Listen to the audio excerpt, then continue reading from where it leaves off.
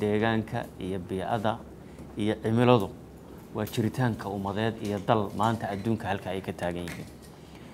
Dunidu maanta waxay ka cabanaysaa innaguna haddaynu soomaaliya nahay dhibaatada ugu weyn inagu haya isbeddelka cimilada adduunka.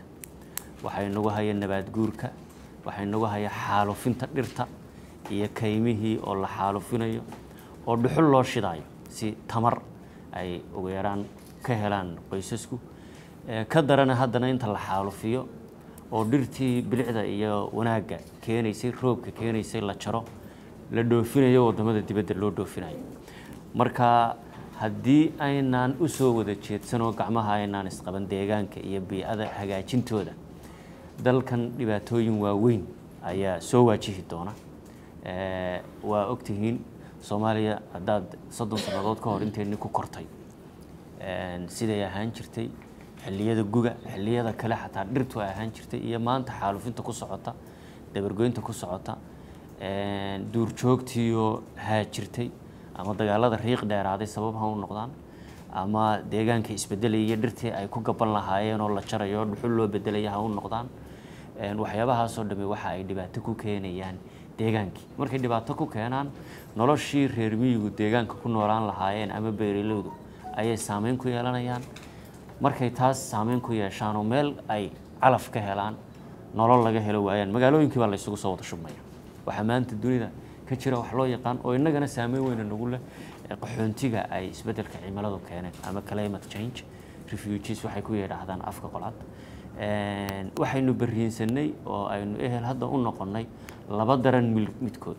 Soomaalidu weligeedba guga iyo jilaalka way u dhexayn jirtay laakiin jilaalkiina meel lagu irkadaa joogay oo xaab iyo calaf dhulka yaalle iyo meelo kale oo dihinoo aan dhirtii wax un ka sii jiraan iyo baa loo guuri jiray oo dabeedna la ismarti gelin jiray. Maanta tii meesha way ka wada baxdo waa la siman yahay. Abaaraha soo noqnoqonaya oo ay sabab u tahay dhirtii oon jirin waayo haddaan dhir jirin juqraafiga sidaynu ku dhigannay haddaan boodh jirin roob maayo. Markii roobka yaraaday abaaro xaalufiyo dhulkii oo dhan dadkiina barakiciyaa dhacay markii roobkii uu da'ayna waxa uu keenay fatahaado. Mar labaad haddaynu roob helno oo uu doo fatahaad iyo baabiin dalagiya iyo dadkii uu barakiciyo iyo webiyadii oo fataha iyo dhulkii oo dhalan rogo ayuu dhalaya. Waana isbeddelka cimilada sababaha ay keentay. Haddii aanu roob jirin oo jilaal jirana oo dhibaata jirtana iyadana waa barakac labaad.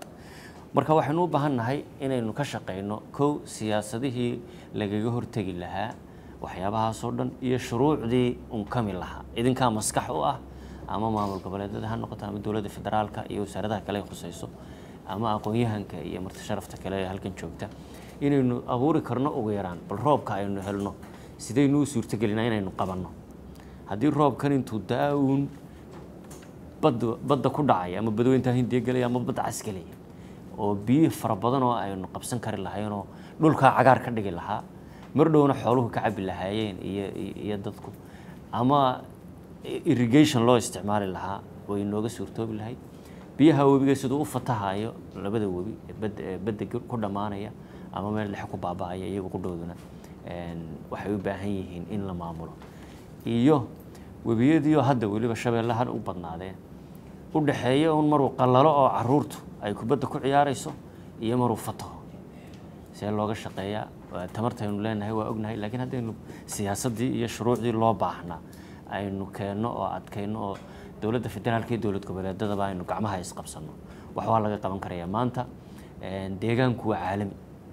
Deegaanka meel kastoo dunida ka oo deegaanku dhibaato ka jirta dunida inteeda kaleu saameynaya in deegaanka laga shaqeeyo in bilicdii laga shaqeeyo in daaqsintii aynu soo celino ugaadhii soo celino oo meel ay ku gabadaan ay helaan waxyaabahaasoo dhan waxaa saldhig u noqonaya in aynu helno siyaasadii loo baahnaa iyo shuruucdii loo baahnaa lana fuliyo. Sharci waa la soo saari karaa qurux badan laakiin wuxuu u baahan yahay fulintiisiina in dowladda federaalka iyo dowladda dhexe ka wada shaqeeyaan. Arrinta kale ee iyaduna muhiimka ay tahay inaydun ka doodaan dabadeedna aynu xoojinno oo sideebaynu u meel marinaa ka shaqeyno waxa weeye wada shaqaynta dowladda federaalka iyo xafiiska deegaanka iyo cimilada dowladda dhexe iyo maamul goboleedada sidee baynu u wada shaqeynaa wasaaradihiina iyo annagu? Xidhiir intee leeg baynu yeelanaa maalmahan oo dhan baad ka doodi doontaan. Ma bishii mar baynu isu nimaadnaa la shiraa maxaa qabsoomay?